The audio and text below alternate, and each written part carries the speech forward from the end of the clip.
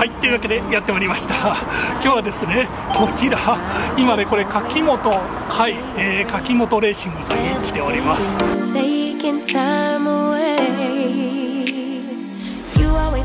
みません今日はあの これちょっと安くね譲っていただいてどうもありがとうございます。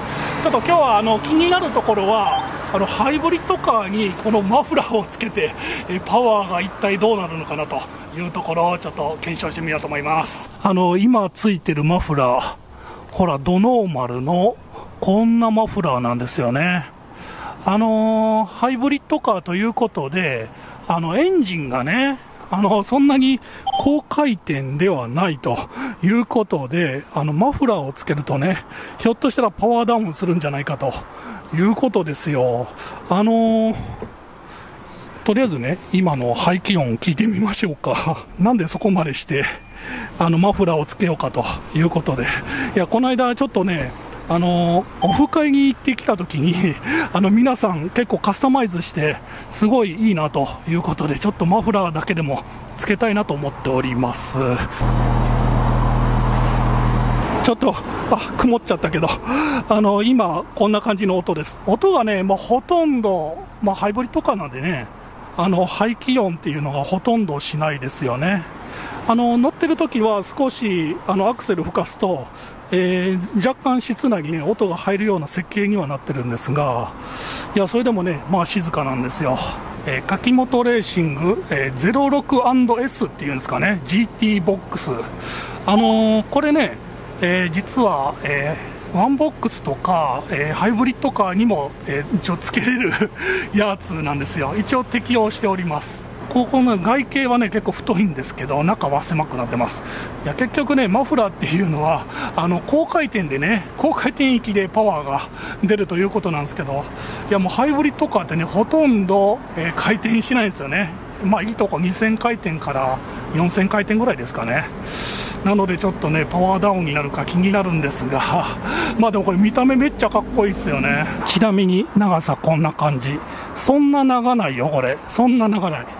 えちなみにこちらちょっとお譲りいただいた方のフィット。プラス KR これねこれも柿本なんですね。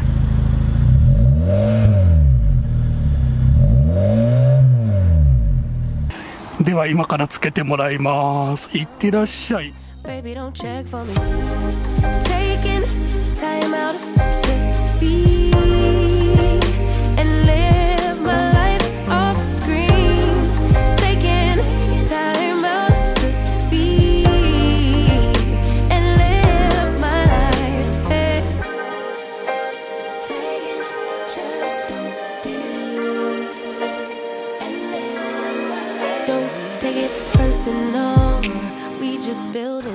このね焼け具合これがかっこいいんよ。そうそう今回ねあの中古のマフラーを持ち込んだんですけどえっ、ー、とねなんと取り付け工賃ね3000円ちょっとでした。安い。あこれブラッククローム。まああえてこれでもいいですよね。あえてあえてこういうのも。ハイブリッドカーにマフラー径が大きくなるので、あの昔マフラーってあのターボ車とか、NA とかでガンガン回すやつにつけてたと思うんですけど、あのああいうハイブリッドカーで全然回転数回らないんですねそうですね。そういう低速低回転でもマフラーの効果ってあるのかなっていうのがそうですね。まあ実質あのパワーチェックうちの方であの車載ライナーも持ってます。開発車両としてパあ。ーワーチェックして純正の状態で測ったものと、はいはい。テストマフラーという形で作ったもので測って少なくとも純正と同等もしくは純正以上にはなるようあな純正以上になるんですね。なることで上にあの確認しながら進めていっているので。いや僕ちょっとそれ今回諦めてたんですよ。もうパワーダウンするんちゃうかなと思って。そうですね、ただね、あのシャシダイナモのパワーチェックって結局アクセルの踏み方によってそのグラフにした時の波っていうのはどうしてもあの純正とはいはい。クロスするというか、はい。あの上になったり下になったり繰り返しながらなのでで、まあ、マックスの頂点の比較っていうので少なくとも純正よりは上がってるような仕様の方を目指して作ってますので。こう低速でもそうなんですかね。ね0キロから、まあ、一般道40キロぐらいなんでその間でも効果って。ここに関してはあのその車種ダイナモの測り方っていうのではちょっと正直わからないんですね。測るために違うものなので、はいはい。はい絶対とは言い切れないですけども。わかりました。まあ、ね、まあ、そこのクロスしてる部分っていうので。そうですよね、まあ、あの高速道路乗る時の急加速とか、ああいう時は多分パワー出るんかなと思いながらしてもあの排気って抜けすぎると下のトルクは弱るんで、はいそこが弱りすぎないようにある程度の中の絞りとかっていうので排気抵抗の方はつけたりとかはしてるあので。わざとこう K をそうですねこれも分かってなかったんですけど 純正の K って結構こんこんなんですよね。だいぶ細いですね何センチか分からないですけど。で今日つけようとしてるやつはちょっと広がる感じなんそうですか？ねですね。あのメインパイプ自体は太くなりますかなり。でその中でサイレンサーの中で1箇所絞ってる部分で細くなってはいますそこで補足してこう調整してるんですね。そうですね。ということは昔あの吸気の方も、あのタコ足とかなんかこう、広げないとなんか結局はバランスが崩れるみたいな、だいぶ昔の話ですけど今のあのハイブリッドカーとかでもこう吸気までいじらないくてもいいっていうことなんですかね。基本的にはうちはまあフライ本なんでそのはい。吸気の方を作ってないので、あー。あの吸気との組み合わせでどうなるっていう結果っていうのはエビデンスとしては持ってないんですけど、ただまあ、はい。今ね逆にそのノーマルの性能がかなり上がってますんでそうなんですよ。昔の車と違ってその昔はその排気を変えてやるだけで一気にガンと上がったんですけど、はいはいはい。はい今は逆に言ったら排気を変えただけでも全然そんなに極端に上がることはまずないんですね。あー。元が良すぎて。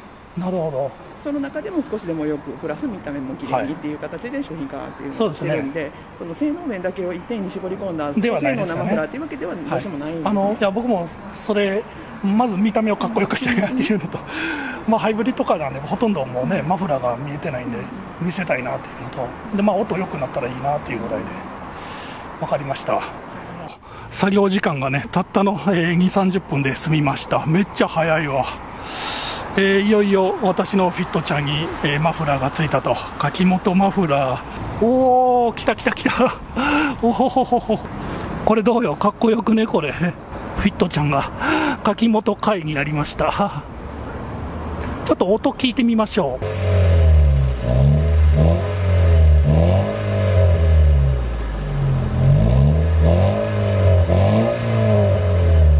はい、どうですかね？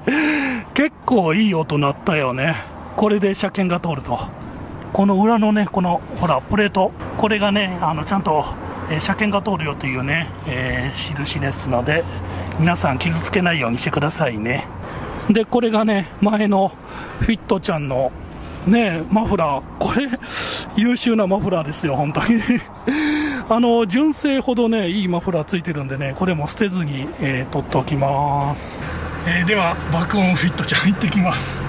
爆音ってほどじゃないけどな。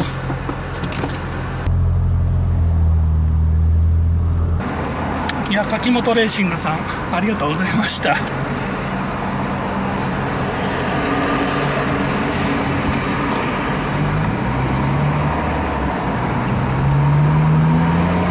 おなんかあれ？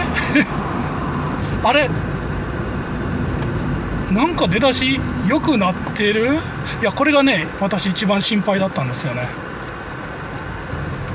いや前と変わらんか？どうだ？正直分からへん。ああ。低速は前と変わらん感じかな。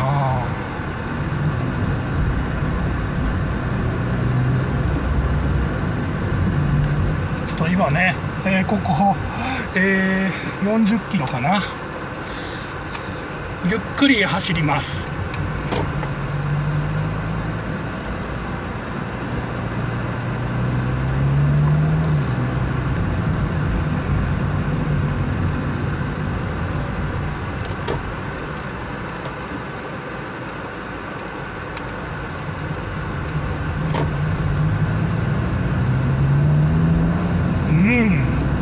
変わったのかどうか正直わからないですが心配してたパワーダウンは今のところなさそうですね。ちょっとだけちょっとだけ良くなったかな。なんかそんな感じがする